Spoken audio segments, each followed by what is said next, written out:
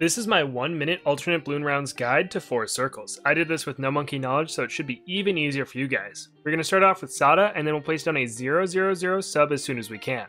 Next we'll need some lead popping power so we'll get a 200 alchemist and after that we'll upgrade the sub to a 202. Then we'll upgrade the alch to a 300 and get a 402 Bloonjitsu ninja. Next upgrade the alchemist to a 401 and get a 201 super monkey.